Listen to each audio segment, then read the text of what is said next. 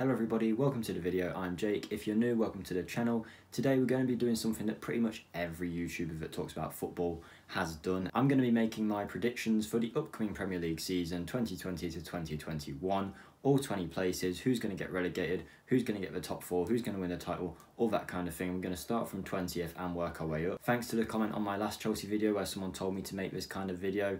It's one of the first times that someone's actually told me the kind of video to make, so you know, I'm going to do it and hopefully you guys enjoy it. At the time of recording, we're sitting on 135 subscribers and I want to be as close to 150 by the end of the month as I can be. So if you can help us push for the first goal, which is 140 subscribers, by hitting that subscribe button, that means a lot. And if you could hit that like button too, just to push this out to a few more people. The last time that you guys spammed the like button, the video got sent out to loads more and it was one of my most viewed videos yet. So no messing around, no waiting, we're going to go straight into 20th place. My pick for the bottom of the table this season is Fulham. Now don't get me wrong, I don't want Fulham to go down. I think they've got an exciting young manager, they've got an exciting team as well. I felt bad for them the other season when they came up and went straight back down because they spent so much money. It looked like they had a team that on paper could have done really well and it just didn't. You get the teams like Wolves where they spend the money and then they do really well, but for Fulham it didn't really work out. Their team didn't really gel. And their recruitment hasn't looked that good so far, so I don't think they're going to have enough to stay up. They could be anywhere in the bottom three for me, but I think they will go down and they'll just become a Premier League yo-yo club where they keep going up and down. But for me, Fulham are the team that are going to go down in 20th place. Moving on to the 19th spot, and we've got another newly promoted side in West Brom. I think their recruitment hasn't looked terrible, but I just don't think they've got enough to stay up. They are the kind of team that will be fighting on probably the last day of the season, not playing the most attractive football, but just trying to grind out results. And for all I know, they could stay up. But for me, I just think all the other teams in the division have a bit more than them, and I think they will go down in 19th place. And much like Fulham, I expect in a couple of years they'll come back up and then drop down again. And unless there's some major changes at West Brom, I don't see them being a consistent like 10th place, 11th place team for a while yet. For the final relegation spot, I've gone for Aston Villa. They managed to narrowly escape going down last season, whether you think it was fair or not because of a lot of like VAR, things like that goal where it went in, but they didn't really count it because goal line technology wasn't working that day. Arguably, they could have gone down this season, but they were kept up by their main man, Jack Grealish, pretty much. And I think although he will be good again this season, I just, I just don't think Villa will have enough to stay up this time, and I expect them to go down. Out of the teams I've said so far, they're the team that I think have the most likely chance of staying up, which is why I've put them in 18th place. But again, I just think everyone else in the division should have a bit more than Villa and should be able to stay up. In 16th place, we've got Brighton. I think they've been a pretty good team under Graham Potter, and I don't expect them to go down,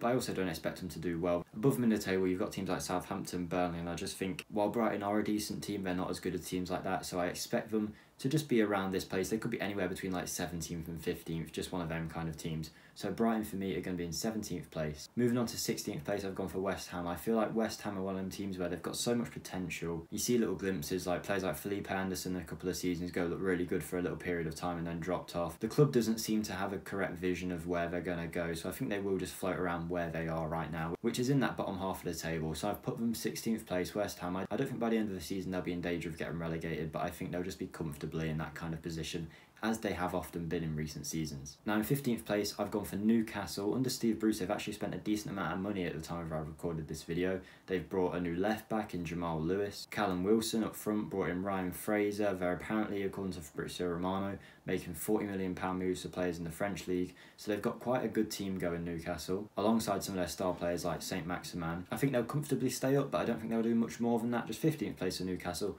pretty average. I think that's where they'll be. In 14th place, we've got a team that if you said the name 14th place, I always think of this team, and it's Crystal Palace. For all I know, they'll probably never finish 14th, but just in my head, they're that kind of team that are always sitting in that part of the table. So I've gone for Crystal Palace. I think, again, they'll stay up, they won't have too much problems they won't set the world alight either. They'll get a couple of nice wins along the way because, as they always do, they usually get a win against a team that they should not get a win against. So I don't really have too much more to say on that one. Roy Hodgson's Crystal Palace in 14th place. Now for the top 13 teams in the league. For me, these are teams that are all pretty good teams. I would class them as good teams. And in 13th, I've gone for Sheffield United. Now I know that might seem as a surprise, seeing as Sheffield finished quite high in the table last season. I think they will still stay up do pretty good, and I think they'll play good football throughout the season. Under Chris Wilder, they've just signed Ethan Ampadu on loan. I think he'll be very good for them. I do like Berger in the midfield as well for Sheffield. He seems like a really good player, and from my football manager days, I know that he usually turns out to be a really good player. Not that that's in any real indication of real life form, but I think he is a good player for them. I think they'll still do well. They won't reach the heights that they did last season. I think a lot of their results in the early half of the season came through like shock and surprise of them just playing tactics that no one had really seen in the Premier League with their overlapping centre backs, but I think people might get a bit more used to them. They'll still do well, but I'm putting them 13th for this video. In 12th place, Sean Dyche's Burnley. They're a team that just have a lot of grit about them, solid defensively, and even though they haven't got any like headlining players like other teams do, I think Burnley always get a lot of good results throughout the season. They're consistent, especially usually in the second half of the season. They start to pick up a few more points. I expect them to do pretty well. A solid defence is a great foundation for any team. So for me, Burnley are going to finish 12th. In 11th place, it's the only other promoted team I haven't talked about so far. It's Leeds. Leeds have spent a lot of money, and I know they've got a big fan base, and I'm very happy for them to be in the Premier League. When you think of Premier League clubs, Leeds is one of them that comes to mind, even though they haven't been in the Premier League for so long. And under Bielsa as well, I think they're going to do really well. They've gone out and brought Rodrigo. They're looking like they're going to sign another centre back, and apparently they're also in 40 million talks for another player. So Leeds are looking very good, and I think they're going to be the surprise package this season. Although a lot of people are already pinning them as that, so I don't think it's much of a surprise. But I can definitely see them over the next few years becoming like a Wolves type team where they're always up there with the big boys. Not making the top four just yet, but being one of them kind of teams that are just always around there, picking up some nice results throughout the season and playing good, attractive football. Moving into the top 10 now, in 10th place, I've got Southampton. Southampton, I think, are a lot better team than people give them credit for. I think after that 7 1 loss, I think it was 7 1 where they lost to Leicester, they started picking up a bit of form, and players like Danny Ings play really well for them. I think Che Adams is going to have a breakout season for them too. They've invested quite nicely in positions that they needed investment in. I know they have lost Højbjerg to Spurs, but I think they'll still be a good team, and I think Southampton would do well and get that 10th place spot. In ninth place is the team of the city that I'm from, Leicester. I know they finished higher up last season, but I just think all the teams I'd put ahead of them in this list are just better teams this season in terms of squad and just the feeling that I get when I think about that team. I think they're going to play better. Leicester, not a bad team at all, a really good team, fun to watch too. They have obviously lost Ben Chilwell, Pereira's out at the start of this season. I think Jonny Evans is injured or suspended, and Soyuncu is suspended too. So at the start of the season, I don't expect them to pick up too many points, but we'll see how they do. They brought their new man from Atalanta, so it'll be exciting to see how he does. But I think Leicester come ninth, have a good season, nothing more than that. Leicester ninth place. In eighth place is a team that a lot of people are talking about in a minute as dark horses to push for them European spots. It is Everton. They've invested heavily, especially in their midfield this summer. They've signed Doucouré, Allen and James Rodriguez. If they play the 4-3-3, that would be like a completely new central midfield. But I think Andre Gomes will probably play in there too. They've got players like Tom Davies, and I think some players like James Rodriguez might get pushed out wide. But I think Everton are really interested under Carlo Ancelotti. Maybe if they can get another centre back or something like that, just improve their defence a bit. I think they're a really good prospect this season. Seventh place now, and it's a team that I have quite a soft spot for actually. I think they play really good football to watch. I think everyone will appreciate that they are a very good team now. And while they're not cracking that top six, I think they are one of the big boys. It is Wolves. They've just spent 40 million to buy a new striker, Fabio Silva. They've pretty much brought the whole Portuguese national team, bar Cristiano Ronaldo and Bruno Fernandes. And I just think Wolves will be a very good team this season, as they always are. I expect them to do well, maybe even challenge for that top six. Maybe they'll take one of the top six teams out of them places. And I think Wolves aren't just one of them one or two season teams that come up to the top of the division. I know West Ham did it for a bit when they had Payet. I think Wolves will stay there for a long while with the investment that they've got, and one day they will be a Champions League team, in my opinion. In sixth place, it's the stars of all or nothing this season. It's Tottenham Hotspur. Under Jose Mourinho, I think they'll do decently this season, but I don't expect anything more than sixth. I don't think they'll crack the top five. I think that Tottenham squad peaked a few years ago. I do like Bergwijn and Son. I think Doherty is a good signing, but I don't think he fixes Spurs' defence completely. They're losing players like Vertonghen. So I think Spurs will be in sixth for me, unless they make any more transfers that change my mind. But I'm going to put Spurs in sixth place doing well, but you know, Spurs always below Chelsea. Fifth and fourth place are probably the biggest dilemma I had here, and probably the ones that are going to cause the most polarising opinions. I'm going to put Manchester United in fifth place. Unless they do recruit like a Sancho or someone else like that, I just think they're going to be in fifth. I know Donny van der Beek, it's a good signing, but they've also got Pogba, Bruno Fernandes, and Donny van der Beek. I can't see all three of them playing together. Which one of them will do the defensive work? So I think Donny van der Beek kind of comes in as a Bruno Fernandes understudy. When Fernandes won't play some games, van der Beek will play the others, and obviously Pogba will probably be out injured for half a season.